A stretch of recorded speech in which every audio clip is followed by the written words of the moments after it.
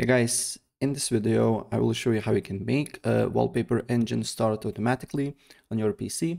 It's quite easy and straightforward, so without further ado, let's get started.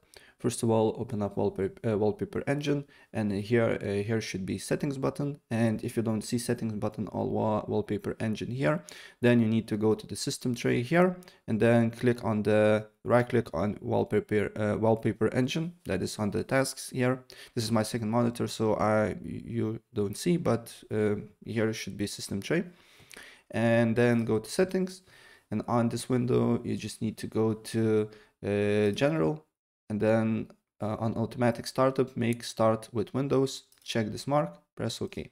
And wallpaper engine will start automatically.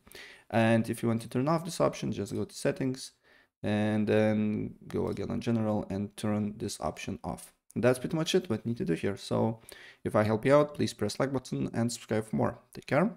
Bye